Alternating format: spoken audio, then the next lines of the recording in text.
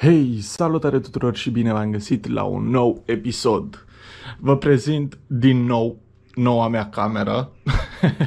este aproape exact ca cealaltă, doar că camera asta are trei chestii acolo, adică trei becuri care mie nu-mi plac cum arată deloc și am pus șepcile acolo și bineînțeles nu mai are chiuveta aia aici și m-am scăpat de tot scandalul ăla.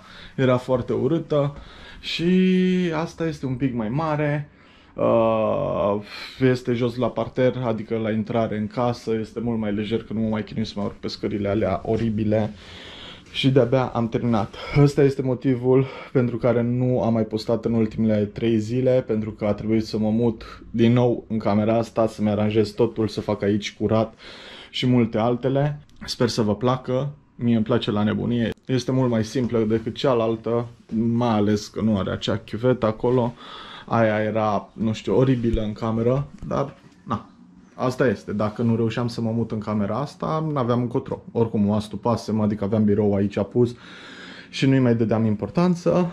Mai am un pic de aranjat pe aici prin cameră, dar uh, nu mă grăbesc, nu mă grăbește nimeni.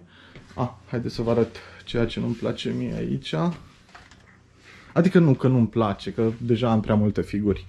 Uite, vedeți, sunt chestiile astea și sunt becuri apeși pe asta, dar nu știu cum îi dai drumul. În fine, neinteresant, pentru că eu nu o să le folosesc. O să le astup, uite așa, cu șepcile și o să am suport pentru șepci. Patul este tot același. Ah, apropo, mamă, ce am dat cu cotul în asta. Îmi transfer acum de pe calculator că am hardurile pline. Îmi transfer într-un hard extern și mai am încă 5 harduri acolo în sertar.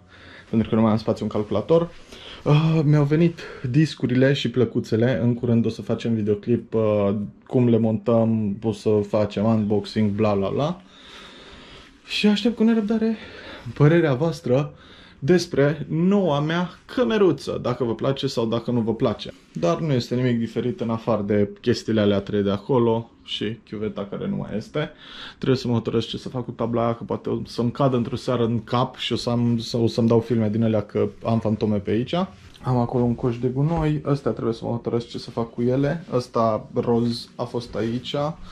Mai am un coș de gunoi acolo sub birou, birou între ghilimele am alt dulap și așa arată dulapul unui bărbat dezordonat, pentru că nu, nu mi-am făcut curățenie 100% că v-am spus lucrez de două zile din nou la camera asta să fac curat și n-am avut uh, timp.